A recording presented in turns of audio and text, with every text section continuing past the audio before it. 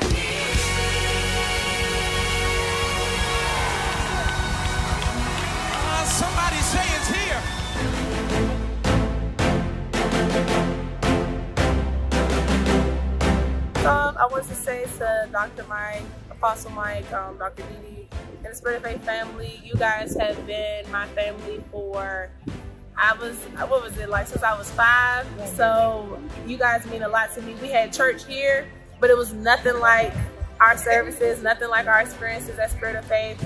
Um, just like our camaraderie that we have at Spirit of Faith, I will never forget. It made me appreciate it even more. I just thank you guys for instilling in me everything that I was able to like um, perform and demonstrate while I was here at BMT. Excellence in all we do, integrity first, um, leadership, everything. Those are love, um, everything that you guys have taught us. Um, I was able to use here, and I'm still able to use it um, in my Air Force career. So I just appreciate you guys for everything you poured into me from five all the way up to now, 24 years, 24 years old. So now that I've graduated, today is my last day of graduation. Um, March 18th, I will be going to San, uh, Fort Sam. I'm going to Fort Sam. That's uh, Fort Sam, Houston. I'm going to be studying medical materials, uh, medical apprentice. Basically, I'm just um, getting my foot in the medical door. City Central family, thank you for all your support and all your prayers. You guys have been so supportive in this in this process of mine. It was tough for me, but you guys made it so easy. Uh, my dad is like, oh, so and so said this about you. It said, you know, keep you in your prayers and that type of stuff. And BMT, you need as much support as you can get being in this field, especially as a female as well. So I just appreciate you guys. I love you guys, and I just um, decree Bible, Bible promise return onto you and your family's life, all that you've poured into me and that you've um, given out to me. So I appreciate you guys.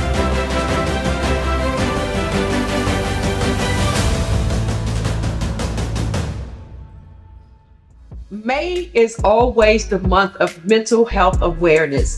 And here at Faith City Central, we have a mental health awareness summit that happens every May. This year, it will be May the 11th, and I want you to be a part of it. That's whether you're having challenges or not having challenges. We just simply give you some principles and some tools to apply to your life so you can live a victorious life every day of your life. I'm so excited to be able to have with me today Mr. Rick Thomas, who has attended our summits. Absolutely. How has that summit benefited you? Well, I thank you very much for this, Dr. Didi. Uh, you know, it's benefited me in so many ways. You know, coming out of the military, I didn't know that I had some of the issues dealing with anxiety, so forth and so on. And coming to the actual the summit, you know, it gave me some tools on how to deal with or to overcome those things that I was experiencing. And and and, and so my, my encouragement would be for folk to come on out as you said, you know, it's not for somebody who may have a challenge. It's for somebody just want to be aware of how to, even maybe to help somebody else with an issue that they may be experiencing. I love so that. I enjoy it. I love it. Thank you so much. And here at our summit, we are always integrating information like from science and the Bible. So you don't have to come and think it's going to be one sided. No, our pastor teaches us a sound word on how to have a sound mind. Science just complements what we do here in ministry. So I want you to come be a part of it. May the 11th at 10 a.m. at our Temple Hill campus. See you there. Hey ladies, I want to invite you to our Women Walking in the Word pajama party, our unplugged pajama party. That's right, it's happening on April the 1st. That's Easter Monday at our Brandywine campus at 7 p.m. Bring a friend, bring somebody to be a part of it. That's April the 1st at our Brandywine campus. It's a pajama party. See you there.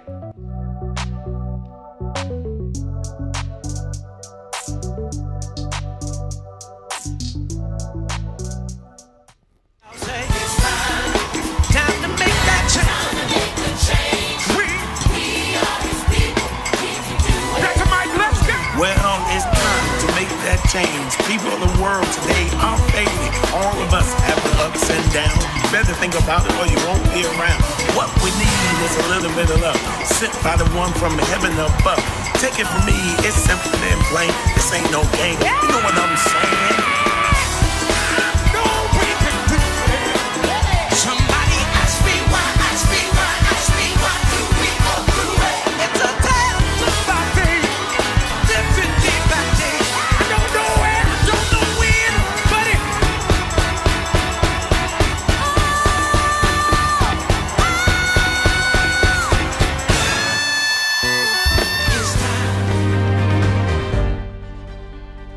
But, but, and this is the same, even with money. We have had thousands, tens of thousands of dollars that come into the ministry as a result. We've been on television 35, what, 34 years now? Uh, 36 years. Almost 36 years. And people send money in for, you know, for the television. And uh, it, it passed, much of it, a lot of it, in the past particularly, has passed through my hand. And it's, you know, a real temptation to take some of that money. Who's going to know? You wouldn't know. I mean, thousands, tens of thousands of dollars. I made a policy. I, you said count yourself dead. I can always, just like you, I can use money all the time, anytime. I got something I can use it for all the time. Are you following me? And, and but I had to make rules for myself. And, and see, I'm not, I'm not doing any credit, and I'm, I'm not telling you about it for any credit or applause, but I'm going by what the words. It says, count yourself to be dead. Dead folk don't embezzle funds. Dead folk can't steal money. Dead folk don't take what doesn't belong to them. So I just made a rule for myself. Unless somebody specifically, and occasionally this would happen, where somebody sends something in and they would earmark it specifically for Fred Price. Personally, I'm taking it all. and no problem with that at all. Because if they didn't want me to have it, they wouldn't have put my name on there and made a notation. This is for Pastor Fred Price when I was pastor. Frederick K.C. Price. So I had, but I, so I had to make rules for myself. That's why I've never been caught stealing any money. Not because I'm so good, it's because I'm so smart. No, covenant smart. I did many years ago what the word told me to do count myself to be dead. And I'm telling you, of all the experiences that I've had in life, I have never heard of anybody from the cemetery rising up and stealing any money.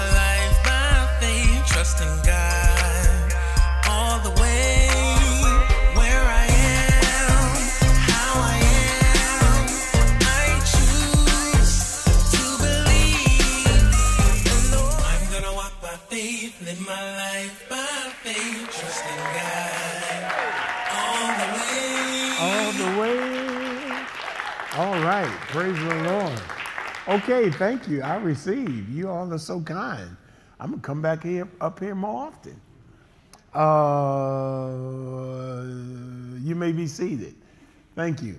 Uh, that's the first, isn't it? Typically, the rest of the people here are noonday Baltimore. They don't stand when we come in. I don't know. We have to train these people up here. That was a first for me um, as well to hear Dr. Price said that he had thousands and even tens of thousands coming through his hands as though he was a part of the uh, counting of the contributions. Okay, did you all get that from that? I mean, because if it's coming through his hands and it's coming through the mail, he had to be a part of. I'm gonna ask mom about that. That had to be quite early on because I mean he he talked about tens of thousands. The the, the ever increasing faith television ministry, where I was introduced to Dr. Price. Any of y'all, any of you all introduced to Dr. Price through the ever increasing faith ministry? Yeah. Huh? WTTG Channel 5. That's right. What time on Sunday morning? 8 a.m. That's right. And I happened to take his place after he went off years ago.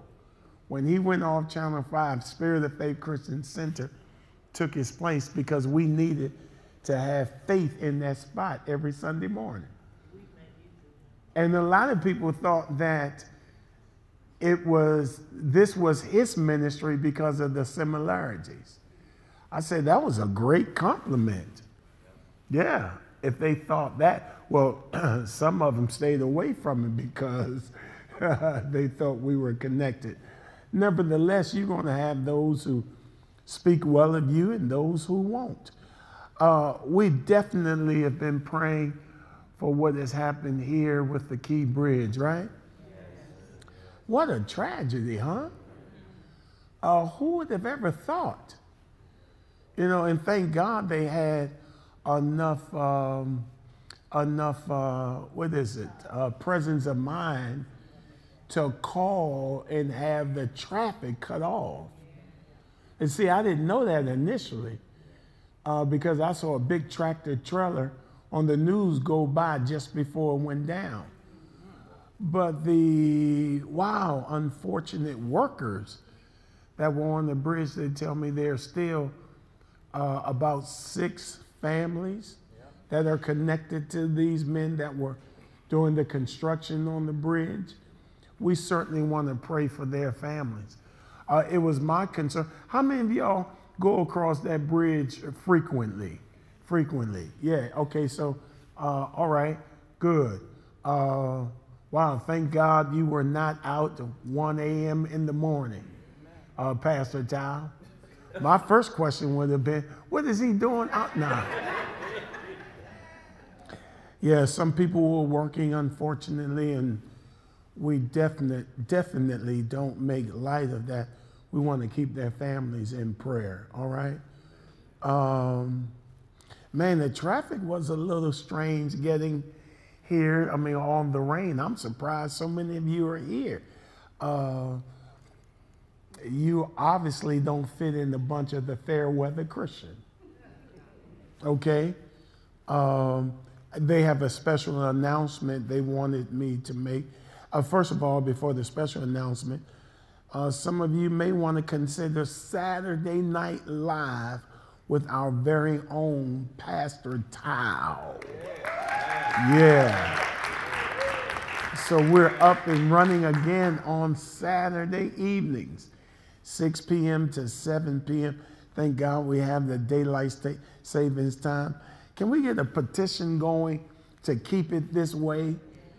Did you all prefer this way or the, the time changing? This way, right, Brother Rudy? Yeah, this way. Uh, all in favor say aye. Okay, any opposes, we don't care. all right.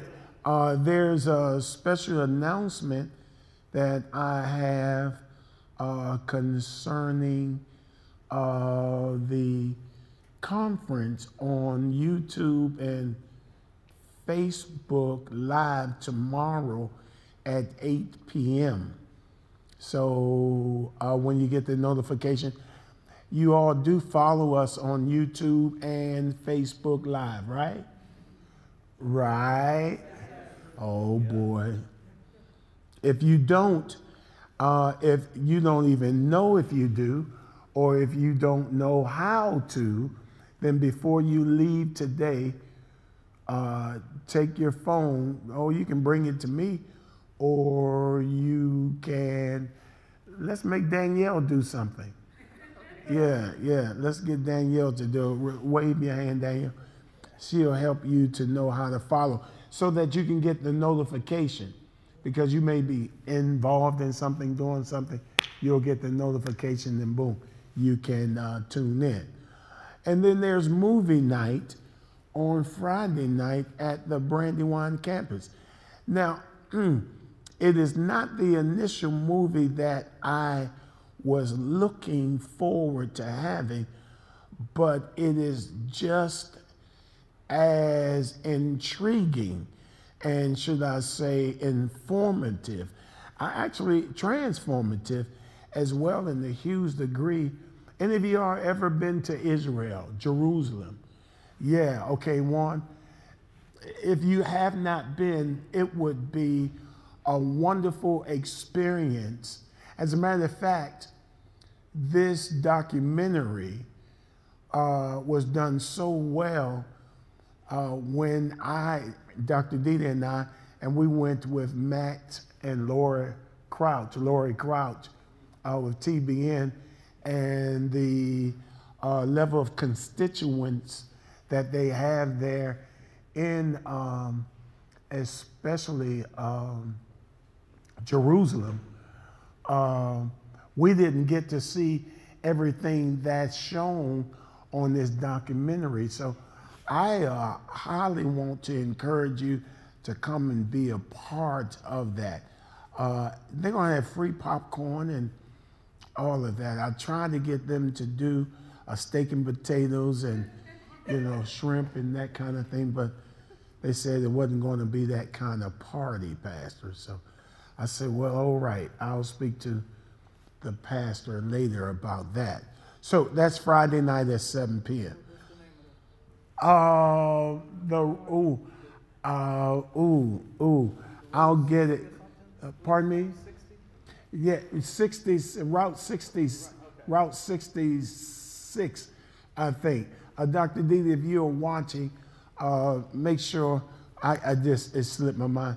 Uh, text me and let me know exactly um, the the name of it. And it's it, it has never been shown in the movie theaters or any uh, where uh, it was actually presented to um, ooh, a group of individuals that uh, Didi and I happened to be invited to be a part of it and is showcasing and they uh, gave us the right to show it at our ministry. So um, I, I, just blessed my life. Actually, it kind of uh, restored a level of confidence that was broken in me. It restored that level of confidence concerning humanity, about where we are as a body um, of the Lord Jesus Christ. Uh, so, you know, based upon my recommendation, I think you should have um, consideration, a great consideration uh, or deliberation about your uh, being there. Um, media department, do something for me before uh, I go any further. Uh, get us to Colossians chapter number one and let's take a look at verse number three. I was so intrigued uh, in my devotion time. Uh, typically, my devotion goes as such like uh, I keep my phone nearby me just in case I get a word, even while I'm in um, my bedroom. Uh, Dr. Didi doesn't particularly care for it. So I have to silence it a lot uh, because of her preference. You know, um, I guess the bedroom belongs to the wife. I don't know. I don't know how they get to run things because I like to keep my television on. She tell me to turn it off. I don't know. I don't know how this should work. Uh, I thought that the man was the head of the house, and somebody can correct me if I read wrong somewhere.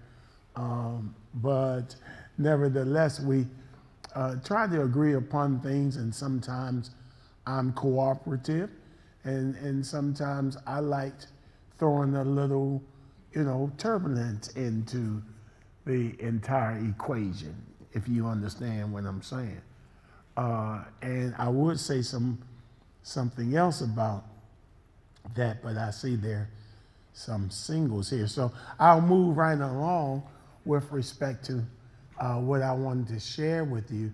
My regiment is pretty much the minute I get up, I will not look at a text or an email or Instagram or Facebook before I indulge in scripture.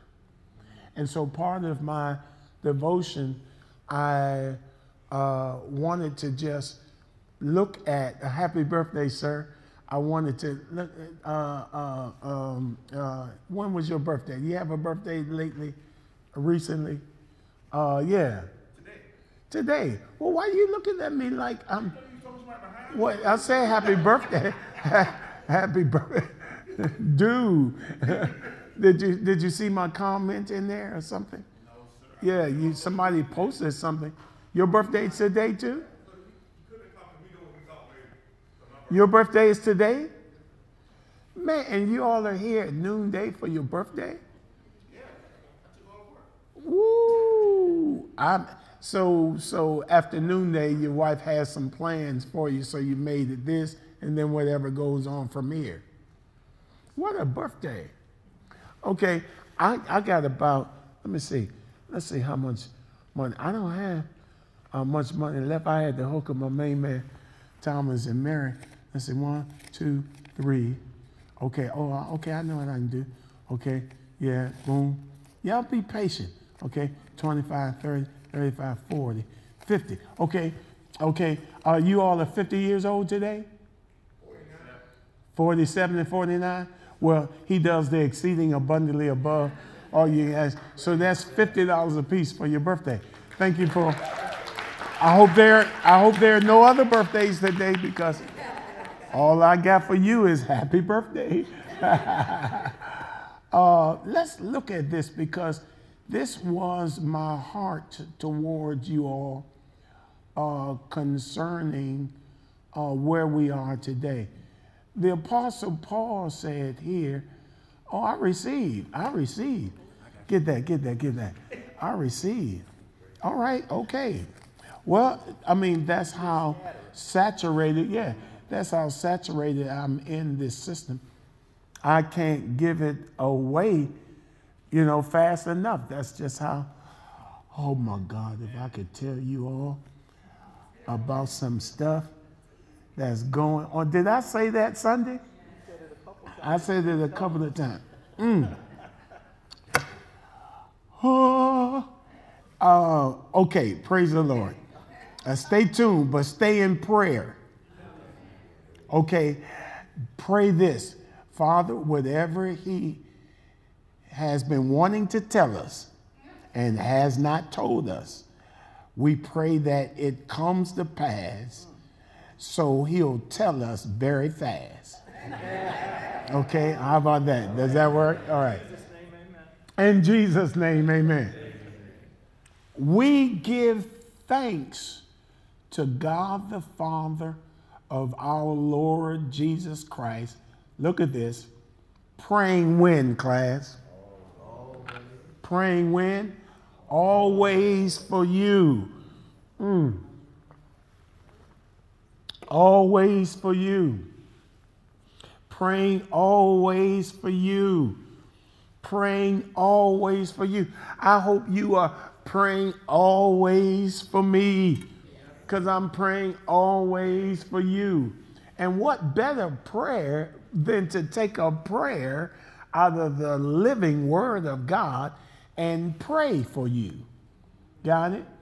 The Apostle Paul did this for the church at Ephesus. Now we see the church of Colossae. And let's go on with it. Praying, for, praying always for you. Go on, uh, media department, please. Verse number four since we heard of your faith in Christ Jesus and your what? Love, Love for just your little clique. No, just your little group. All the saints. After you finish in prayer, oh, well, thank God for this Passion Week, too. You know, this is the week we celebrate and commemorate, although it is not the week technically based upon the calendar, but of course we commemorate and celebrate the death, burial, and resurrection of our Lord Jesus Christ. Uh, there are a lot of things that's wrong about that, uh, but nevertheless, what we are most concerned about is that the man died, the man went to hell, spoiled and kicked behind, and then led captivity captive, ascended, ascended to the right hand of the Father, ever living to make intercession on our behalf. He rose again with all power in his hand. Ah, put me in B flat. Oh, they're not here. On Friday, you're going to hear a whole lot of that this week. And how could it be that a man would die Friday and be raised Sunday when the Bible says he would have been in the heart of the earth three days and three nights? So, where do we get this Good Friday from? And maybe Pastor Wayne will talk about it tonight. That's not in what I'm going to be discussing. But do the math Friday day, Friday night. Saturday day, Saturday night. When did they say he got up? Early Sunday morning? What did we get three days and three nights in that? As Jonah was in the belly of the fish, three days and three nights, so will the Son of Man be in the heart of the earth. What class? So you'll have something to talk about and you'll know the difference in between that and be able to be clear. Hey, we're not going to get caught up in all this technical stuff about when he died and when he rose. All we should be concerned about is that he died and that he rose. Can I get an amen? amen. Am I right, I say? Y'all know who I'm, I'm, talking about? Yeah, yeah, yeah. Mm. Since we heard of your faith in Christ Jesus and your love for all the saints, go on. Because of the hope which is laid up for you in heaven, of which you've heard before in the word of truth of the gospel. Now, you can take a prayer like this and customize it to your modern day or your contemporary day situation, which has come to you as it has also in all the world and is bringing forth what? I pray that you bring forth fruit, class, as it is also among you since the day you heard and you knew the grace of God in truth. So you should have been bearing fruit ever since you've heard the gospel of the Lord Jesus Christ. I can't get no help here, obviously. Pardon me. Next verse, please. As you also learned from who? Epaphras, or how, how's that going to go? A papyrus, our dear fellow servant, who is a faithful minister of Christ on your behalf. Watch this. Who also declared to you, or also declared to us, your love in the Spirit. Look how he's praying for them. He said, For this reason, we also, since the day we heard it, do not cease to do what, class? Pray, Pray for you and to ask that you may, woo, glory. This is what really struck a chord with me, and this is what I pray for you that you be filled with the knowledge of his will and what? All wisdom and what? Spirit. Listen to me. Listen to me. You listen to me. It doesn't get any better than this. When watch this, go back. When you when you are filled with the knowledge of his will. Because whatever is in his will will also be his bill. And anything you continue to do out of his will will be your bill. But you are filled with the knowledge of his will. I think a good shout should go on that right there. Just glory to God. Shout, I'm filled with the knowledge of his will all the days of my life. Shout this, not only me, but my children's children's children are filled with the knowledge of his will. I'm preaching better than y'all are saying amen. But as long as you're receiving this, this is my prayer. This is my prayer for you, Danielle, because you encounter some things that I'm not aware of, and I'm not with you always in making these different decisions and being, of course, uh, uh, um, uh, being, of course, um, aware of what you should be making as it relates to your decisions, uh, that your discretions are, are clear and concise, that even though uh, your pastor is not around, uh, uh, advisors are not around, the, the, the good counselor is always with you. And I have prayed that you are filled with the knowledge of his will. Um, a lot of people, a lot of people, a lot of people, oh, I got to say this right. Help me with this, Holy Spirit, because they'll judge me if I say it wrong. Um, mm, a lot of people would or have concluded that, oh Lord, help me say this correctly. Um,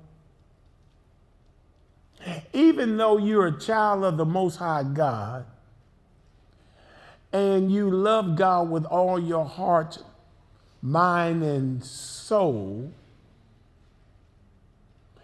if your decisions aren't directly connected to the knowledge of His will, you won't have the will of God performed in your life. In other words, is God making you to prosper or are your decisions?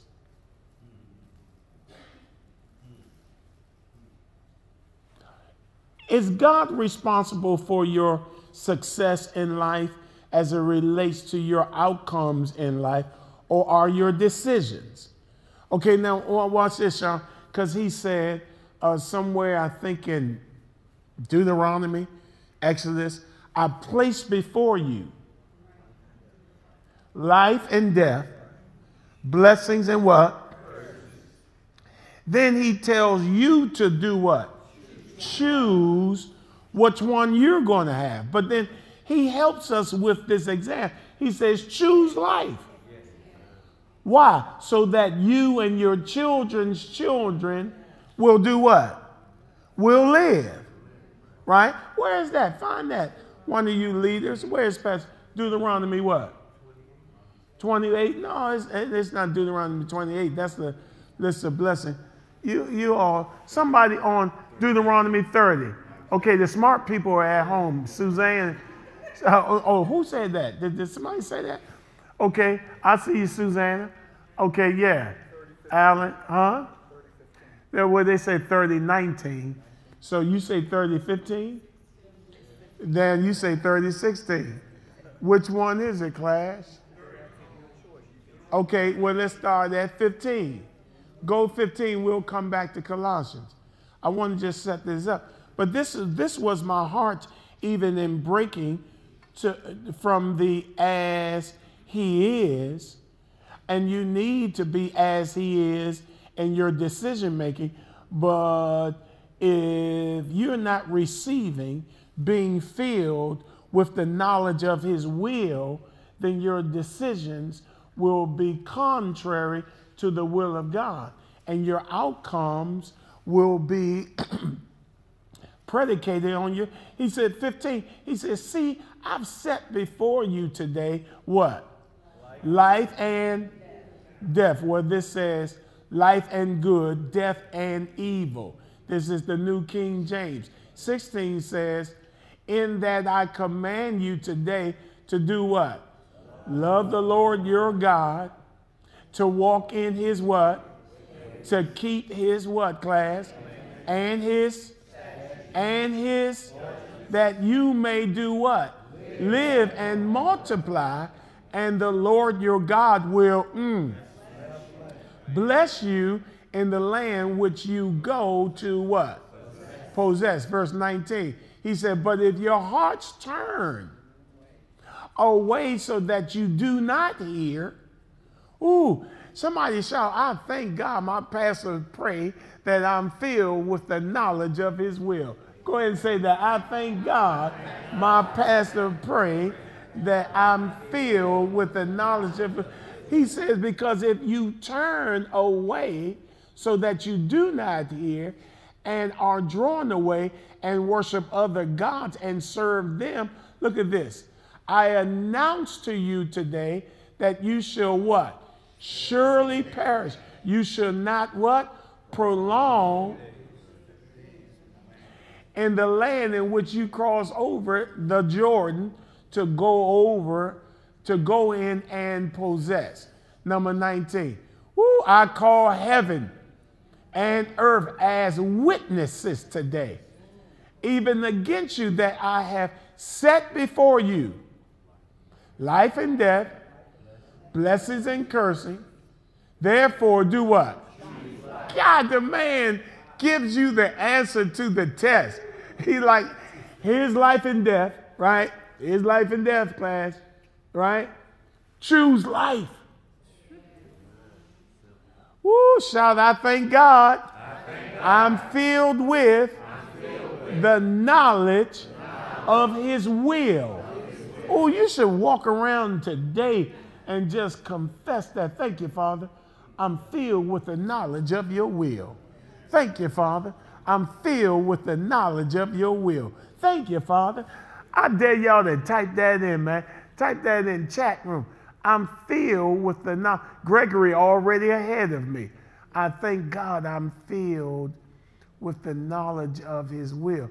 Go ahead, Joy. I see you, Borkins. I'm filled with the knowledge. Teresa, I'm filled with the knowledge of his will. Oh, man. Yeah, yeah, yeah. Chris Brown, I'm filled. Chris Davis, I'm filled. Yeah, I choose a Jonathan. Man, okay, they're coming in here. I'm filled. Khalil. Khalil is filled with the knowledge of his will. Yeah, praise God. There's D. Okay. I'm filled, Tracy, of his will. I'm not, I just don't have the knowledge of his will, but I'm filled.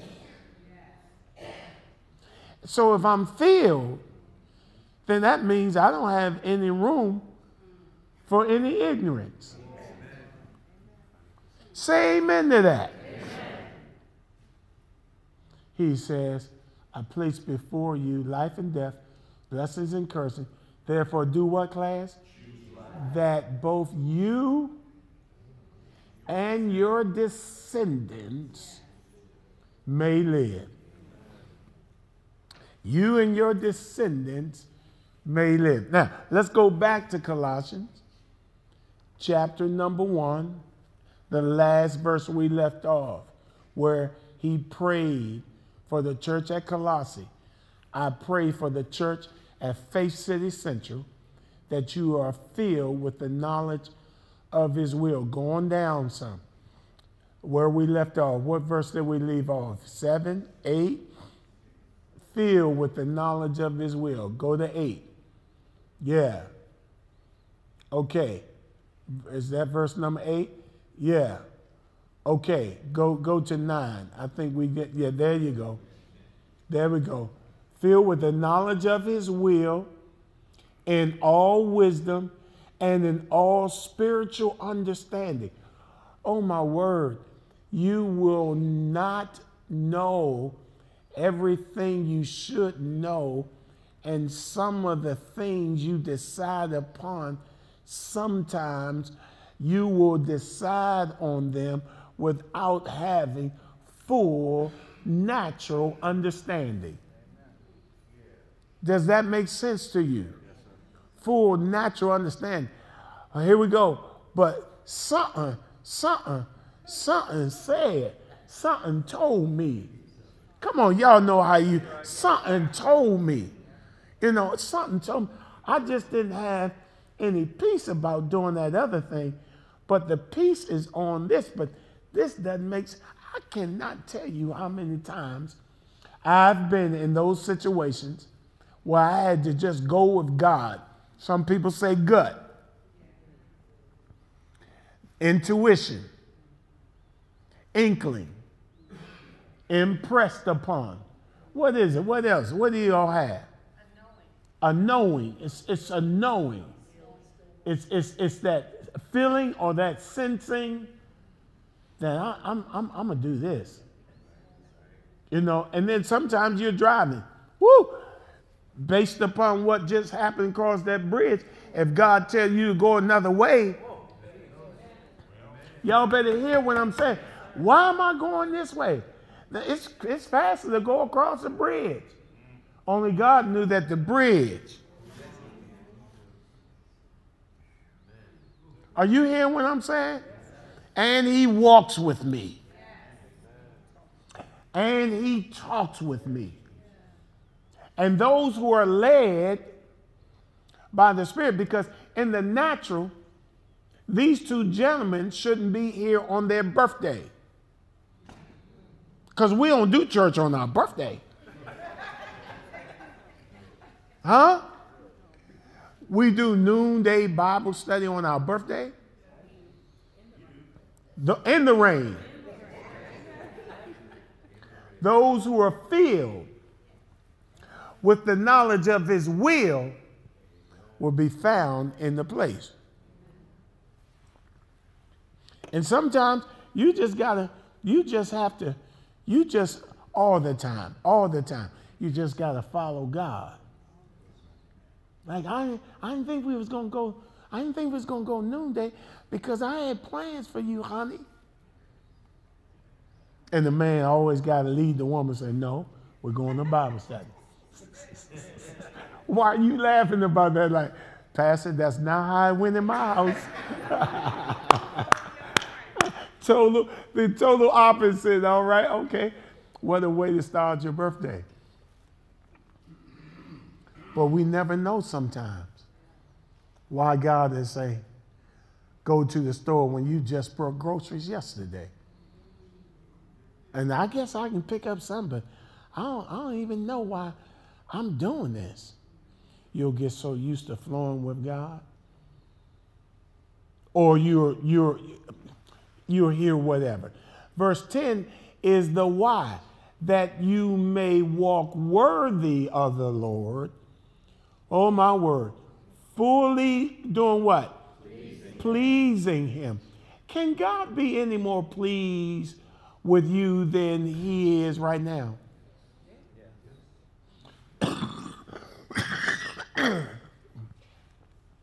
Did you hear my question? Why didn't you all answer? You answered? What was your answer?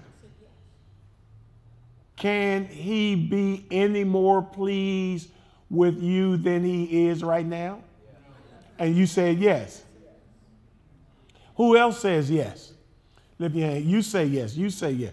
He can be more pleased with you than he is right now? Okay. King David, you're not chiming in, sir. No, I thought you were answering the question. But then when you said, I'm not, it's, a, it's, it's almost like a trick question. Because what are you judging this off? Your current behavior or your rightful biblical state in Christ? See, a lot of you keep seeing yourselves based upon yourselves, and He sees you based upon Jesus. So can he be any more pleased with you? That see, and see, that's where that's where that ooh, when you get the and, and we have a nerve to talk about the world like the world is indecisive. The world doesn't know. Like if little boys want to be little girls or little girls, we don't even know our gender identities, etc., etc., etc. We talk about those things, but some believers don't know whether they're saint or sinner. And I think that's just as equally as tragic than a little boy not knowing that he's a little boy.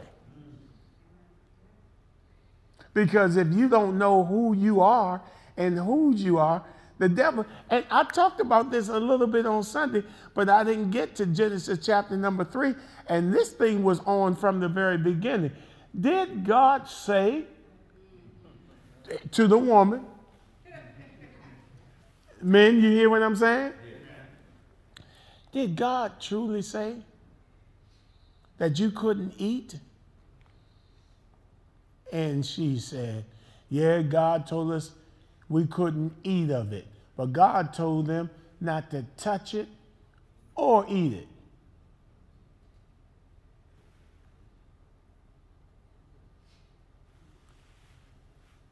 Why are you looking at me like that? Which way did it go? Let's go there and look at it. Three, chapter number three. She said, God said, don't touch it. Or did he say that, Satan? What? We don't have to banter back and forth. Let's go there. He jumping on me, getting all hostile. I'm about to give his wife seed back. I'm not reading your face. Let's read the scripture. Because one said, Oh, God said, don't eat it. And she said, touch it, which may have deceived the matter even more because when she touched it, nothing happened. Okay, let's look at it. Let's go over that. Let's, let's go over that. Give me Genesis chapter number three, real quick. Because I could be getting them swapped, but uh, one of my one of my leaders here, thank God for the correction. Okay, so the serpent was more cunning than any beast of the field which the Lord God had made. And he said to the woman, Has God indeed said, You shall not eat of every tree of the garden? Right? And the woman said to the serpent, We may eat of the fruit of the trees of the garden, but the fruit of the tree which is in the midst of the garden, as God says, you shall not eat it. Oh, she said, nor touch it. Right? Lest you die. Well, did God tell Adam not to touch it? No. He just told them not to what? And then the serpent says to the woman, You shall not surely die. For God knows that in the day that you eat of it, your eyes will be opened. Now, get this, and you will be like God. She was already like God.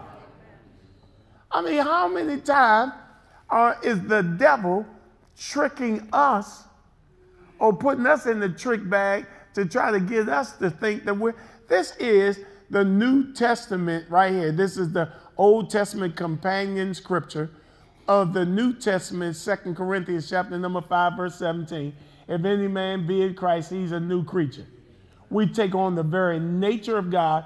That old nature is completely done away with. And you keep functioning out of two. Well, you know, that's my old nature. Keep it. You don't have an old nature anymore. You have a new nature. The new nature has replaced the old nature. You may have old proclivities of the nature of the old, but the nature is gone. You can make some choices of the old nature, but the old nature is gone. You have the nature of God Almighty. You've been created in His likeness and in His image. I dare you to be bold enough and shout like, I'm like God. No, you can't be. You can't be like God and then question whether or not I'm saved or a sinner, whether or not I'm going to heaven or hell. You just as confused as a little boy who doesn't know his sexual identity. Turn to your neighbor and say, He is not talking about me. He's talking about people on virtue or something. I know the people on virtue going to say something. Down in Mac, I'm like God. So now there's this confidence. But now, how am I like God? God is love. But I don't treat people like Jesus treat people.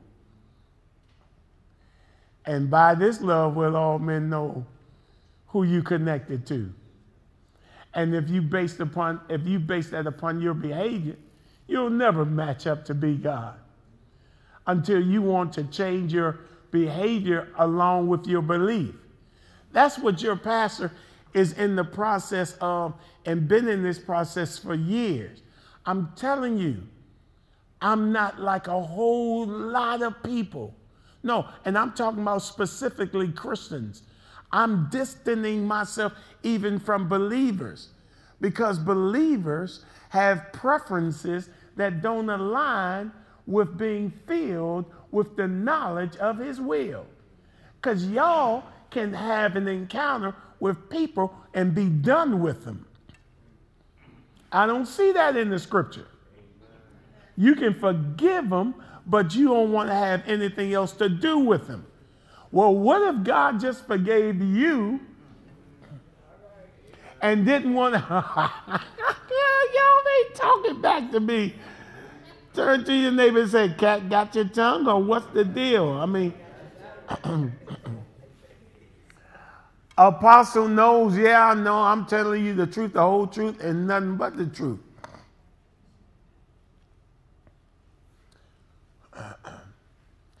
Someone came to me in my office. We sat down and um, brought to my attention that. Uh, a deacon at this uh, other church told him after he told him where he was attending.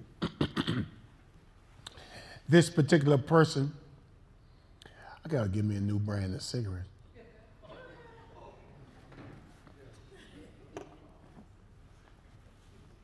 I said that years ago, and I ran into this woman don't let me forget about the deacon.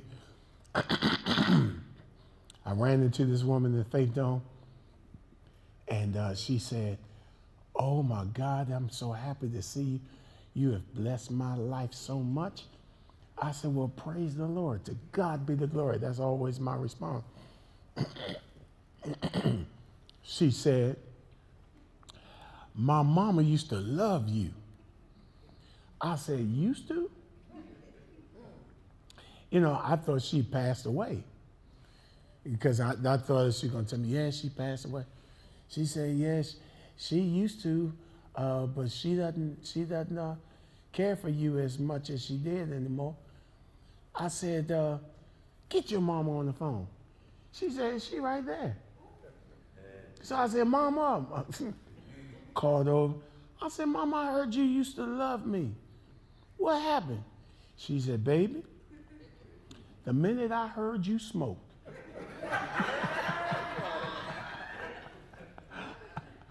I stopped watching you then because I don't believe a man of God should smoke. And Didi been telling me, you better stop playing. You better tell them people you don't smoke. I said, Mama, I do not smoke, babe. She said, Well, you sure convinced me that you did. and then she said, You be coughing and carrying on.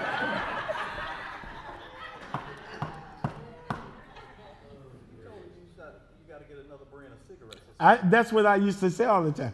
I gotta give me a different brand of cigarettes. I used to say it all the time on television until mom, and then I just brought it up right then, and I thought about mom. Okay, for those of you who don't know me, I don't smoke nor drink anything, and I'm not a cussing pastor. You understand what I'm saying? All right, uh, deacon.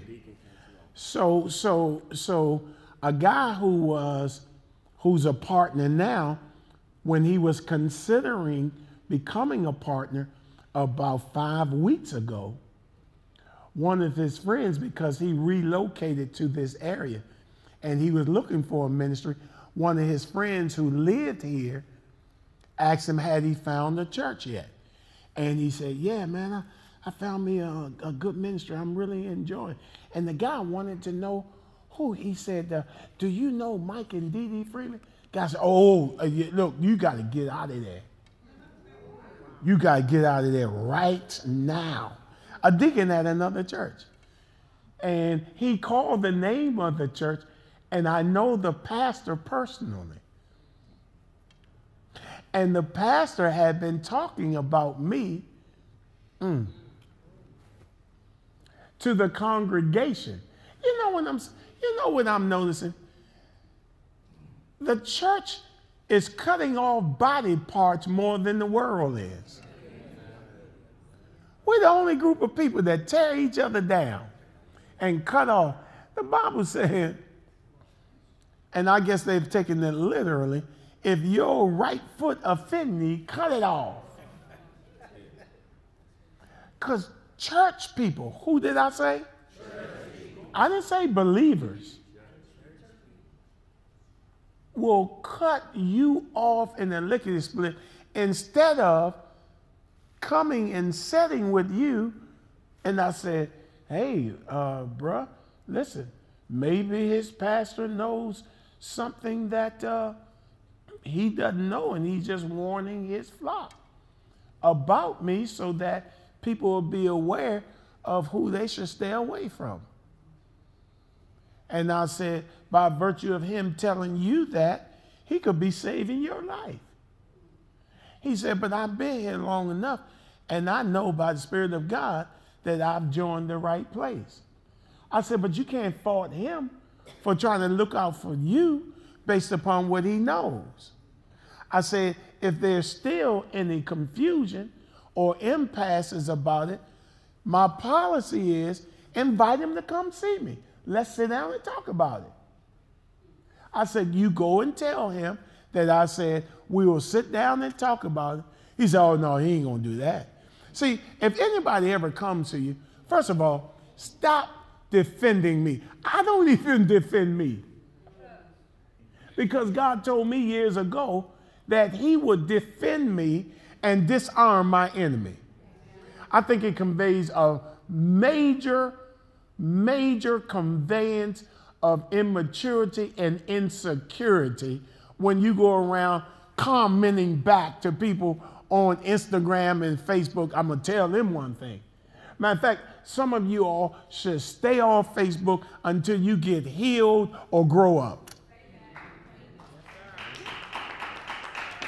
What did I just say? Because some of y'all can't stand to see people talk about you. And you always got to be running behind somebody who says something about you. Man, I so rejoice. Sometimes I see that stuff and I say, well, praise God. The Bible says now, you better be concerned when everybody speak well of you. This is at least one person that keep me in the game. because everybody doesn't speak well of me.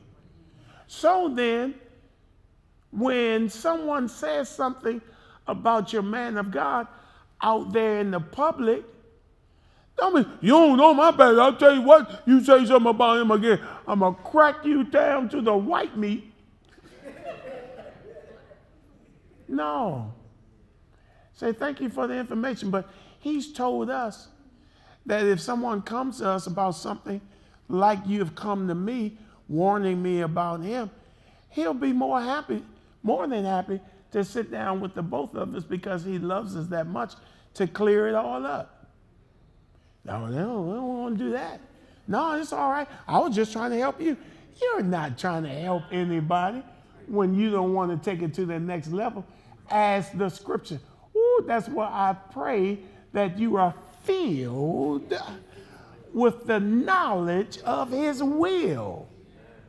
So you don't have to go through those things in life, the very vicissitudes of life that are throwing a lot of good believers off.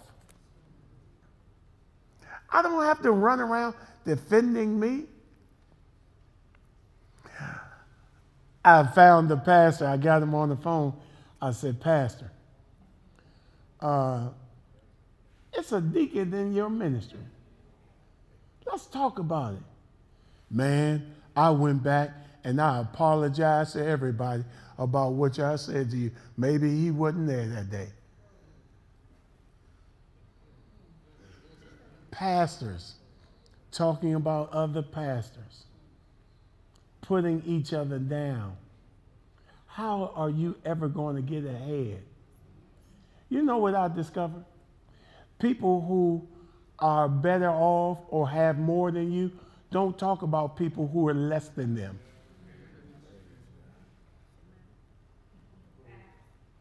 Did you hear what I just said? I'm learning this art of communicating because a lot of times, and maybe the beautiful Miss Beatty can help me with this, a lot of times we talk too much and we don't pause.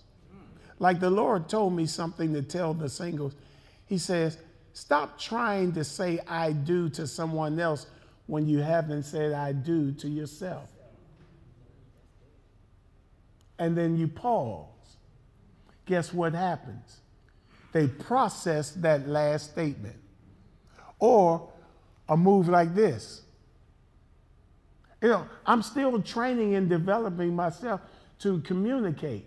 And sometimes you talk too fast and you have to fill in some of your cadence with, you know, you know, I'm saying, okay, like, uh, you know, no, just pause, say what you got to say, and honey, I really didn't like the way you said what you said to me the other day. Now she can hear you. Because you know it's always the woman. Pause.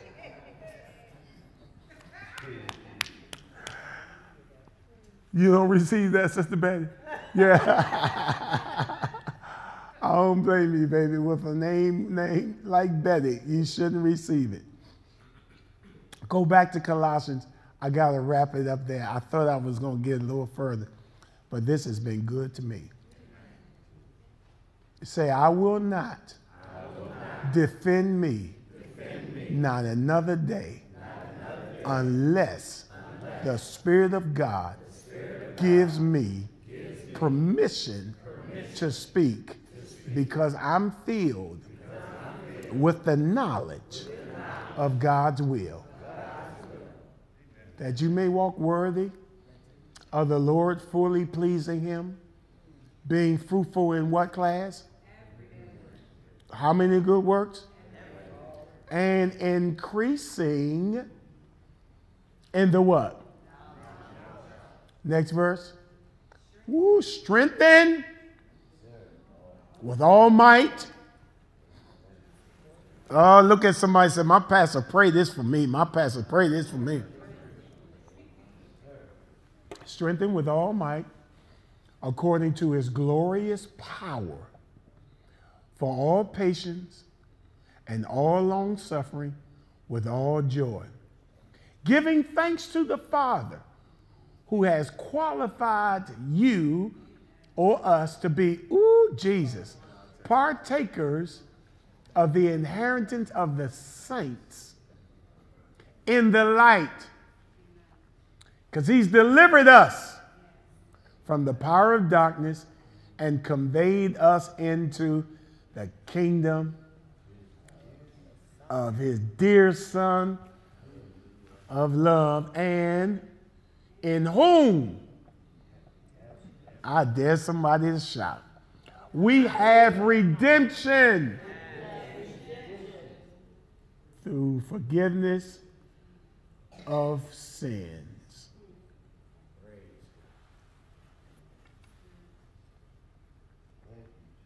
Thank you, Jesus. Will you receive that? I decree as he is, B, so are you. Sister Mary, I decree as he is, so are you. Yeah, are you hearing what I'm saying to you all? As he is. Shout that. As Jesus is.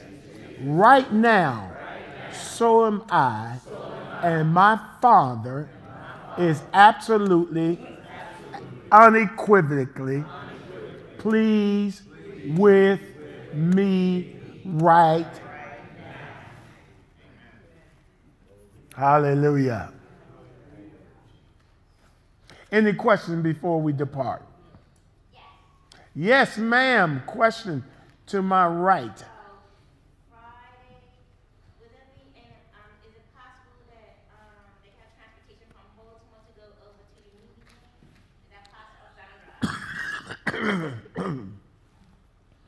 You have not because you ask not.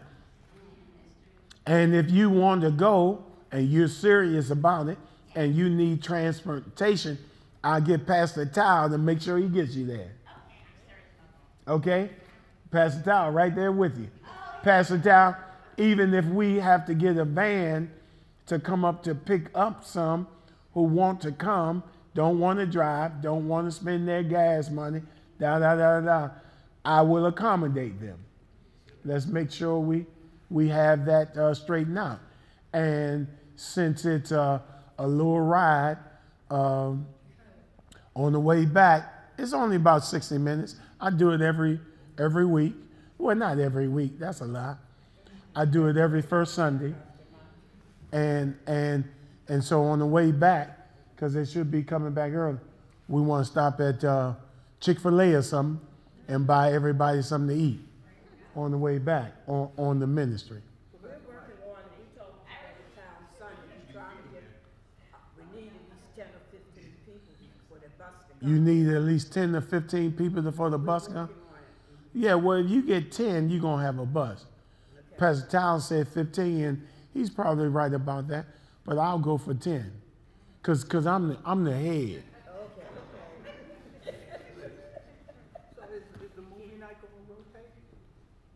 The movie night. The other movie that I wanted to see, we'll just schedule it for Baltimore. I, I think I think that is it. Yeah, it's called Unfaithful Love. Uh, but and we were supposed to see that this Friday, but the producer somehow had a problem with uh, some issue with the money, and I'm like, you talking to the wrong one. You talking to the wrong one. What? If, if we want to see it, we want to see it. What, what, you, what you making money an issue for? Y'all stop making money an issue. God just told you to believe for it. He never told you to pay for anything. He said believe for it. That's the kind of pastor you have. I believe for what I want. Oh, wait till I tell you. No, no, y'all don't even know. OMG. Like I have never in my entire ministry been propositioned like I am now. Yeah, I'm I'm trying to I'm trying to I'm trying to do it ASAP so I can at least tell you. Ooh, but when I tell you. But you're gonna be praying, right? Yeah, always. Okay, any other question? Okay. Uh, can you pick me up from Rockville?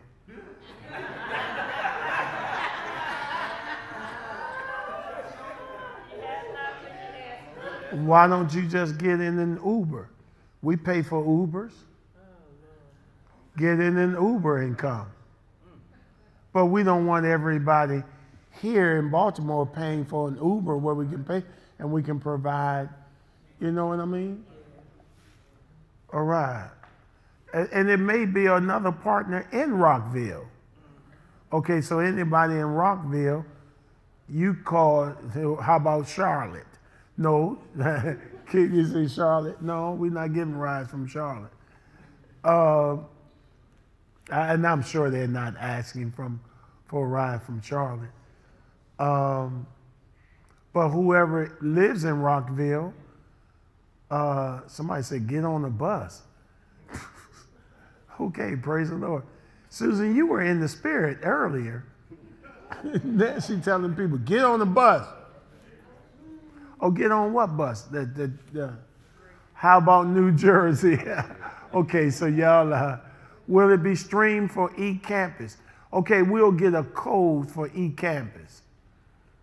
The- yeah, I think. I'm not sure. I'm talking out of turn. The church only pays up to $55. Well, I mean, $55, where you coming from? Is that a good uh, a distance for Uber $55? I've got in I've got in an Uber from Dulles Airport and it, it was like 110. So you coming from Rockville, that's less than half of that distance. I don't know. I'm not gonna get into that with y'all. I meant the base, I meant that base on the movie, Get on the Bus. Okay, what okay, praise the Lord. Okay, depending on the time. Okay. Anybody got any questions concerning the lesson? All right, good. Uh, you want to sow. We, we, we sow noonday, we sow seven as well. Uh, what's, what's, what's present, what, what is like right before us is the scholarship deal. Amen. We always want to give at least how much, Doc? A hundred thousand dollars. We always want to sow one hundred thousand dollars to our continuing students uh, every single year. Uh, we've been doing it for ooh, we're, we've surpassed the two million dollar mark in giving scholarships. So you're doing yeah, that's a big deal. Okay. Uh, um, uh, so we've, we're committed to that. Uh, so we're like halfway there. So if you will begin to sow, I don't think Dr. Didi and I have sown into that yet. We typically sow 1500 15 to 1800 every scholarship offering time. I'm telling you, and we did that even when our children were disqualified because they were our children. I didn't even like the appearance of that. I didn't think it would be, you know, it would look good that my children could win a scholarship here in the ministry. It's just, you know, you can question some things about that. Like Dr. Price, I've set rules for myself. And I've never, I've never been a part of counting the money. I've never been a part of knowing who gives what and that kind of thing. I was, I was kind of, I was kind of thrown that he did it at one time, and a lot of pastors do it.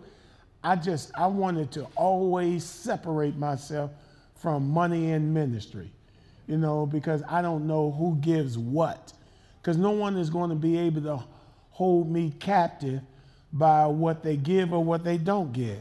And if I have to say something to you and you give a million dollars a year, I'll, I'll be free to say it to you and, and, and not have you, you know, replying, do you, you must don't know how much money I give to this ministry. No, I don't. Thank God you do. But if your money goes away because I'm loving you in this correction, then I've trusted God all this time.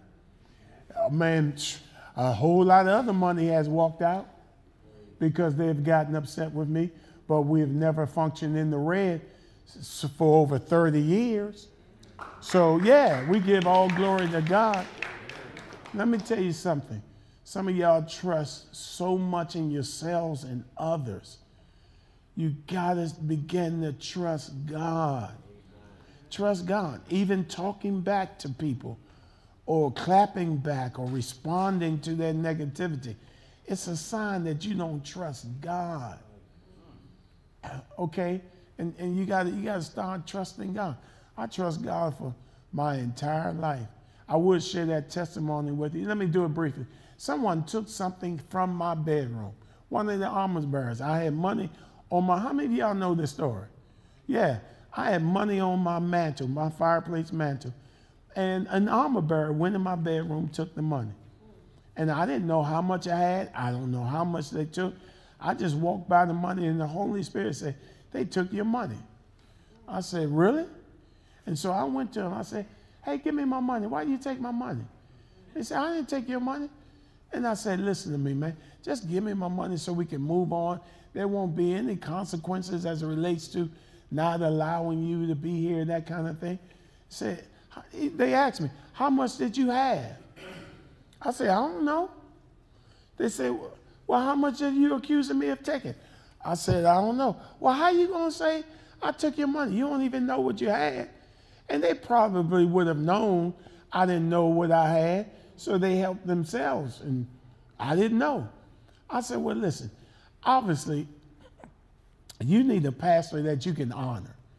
So, you know, until you're willing to tell me the truth, then uh, let's just, just cut off this uh, exchange, my being your pastor. Go, go find your pastor. And I'm, I'm escorting him to the front door of my house. I'm loving him. And in the interim, his wife comes up and said, well, what's going on? He, he looked at her and said, Pastor said, I, I, took, I took his money. And she said, how much did he take? I said, I don't know. Uh, how much did you have? I don't know. Well, how are you going to accuse? And I'm thinking it's a modern day Ananias and Sapphira thing that's going great for. So I'm trying to get him, man, just really, you know, the minute you tell me the truth, it's over. So I opened the door and I went to hug him, and she, she kind of just reluctantly wanted to hug me. She said, Because, Pastor, you told us to stick by our husbands, and I believe my man of God. I said, Fine, yeah, you're doing the right thing. But I'm telling you, in this case, he stole my money.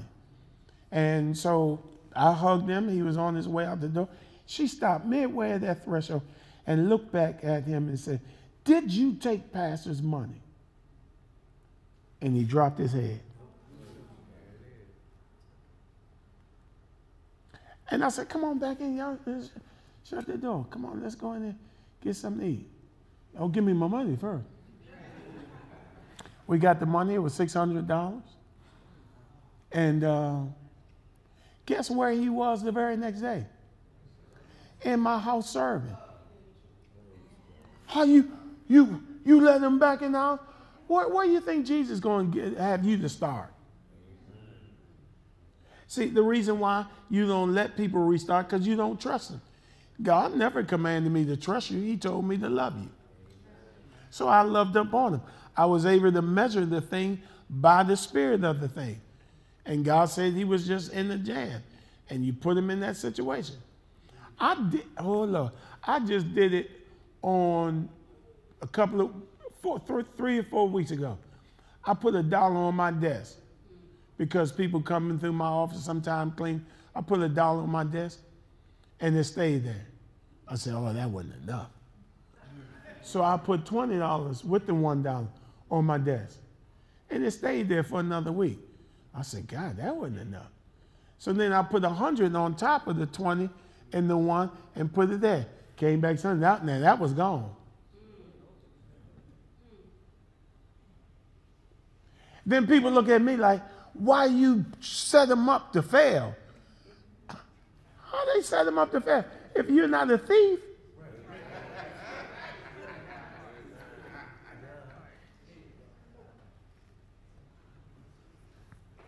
Lo and behold, this person come to me weeping like, you just don't know I just saw it. And I,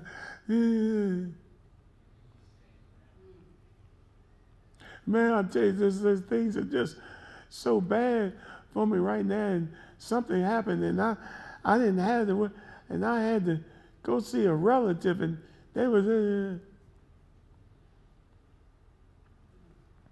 put my arm around them.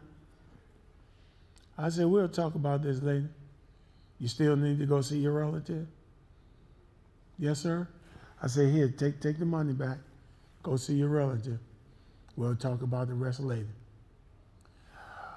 If we're ever, if we ever just pause for a moment and think about maybe what would Jesus do? How would he handle this instead of just be quick? I don't want you around me. You can come into my house and taking money from me. You, you, sometimes you got to put yourself in other people's situation. Even when the scripture says, He that stole, let him steal no more. He told us not to commit adultery, and then they throw the girl out there in front of Jesus.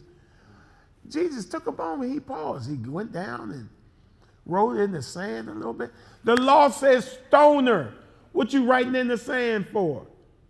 See, the, the, the, the, the, the proclivity the propensity in man is to do away with them. I tell you what, you stole from me. I, you know, you'll never do it again.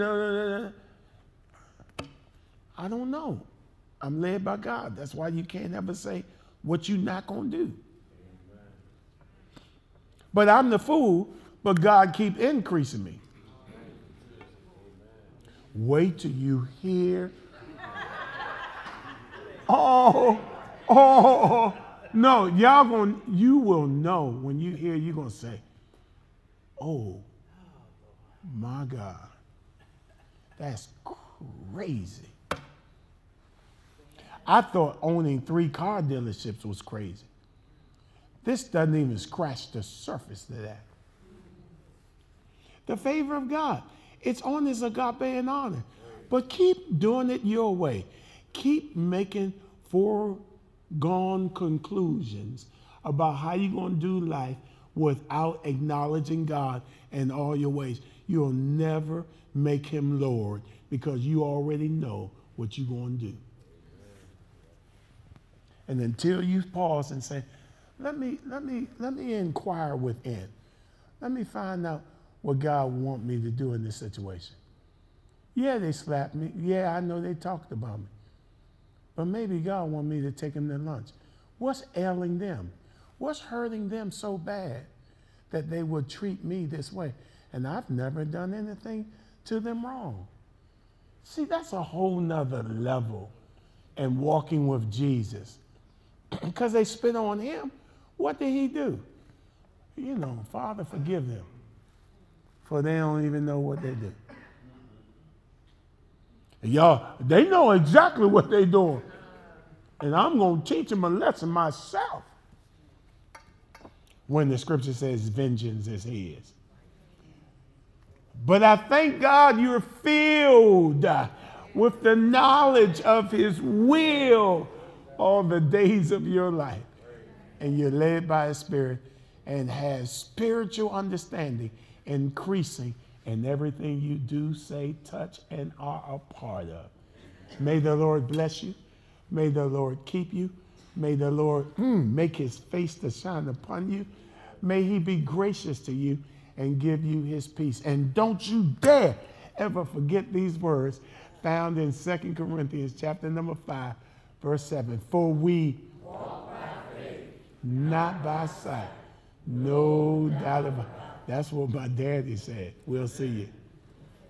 Hey fam, I'm Sanaya and I want to personally thank you for tuning in to today's service. I know you had an amazing encounter with God, but guess what? It does not have to stop there. If you want to receive salvation, find a church home, or even receive Apostle Mike and Dr. Dee Dee Freeman as your pastors, feel free to scan the QR code on the screen. We would love to have you join us for one of our services in person, so you can join us at 8 a.m. at our Temple Hills location or 10 a.m. at our Brandywine in Baltimore location. And lastly, don't forget to share your takeaways because, as our apostle always says, we're teaching you so that you can teach someone else. We can't wait to see you soon, and I pray that you have an amazing day.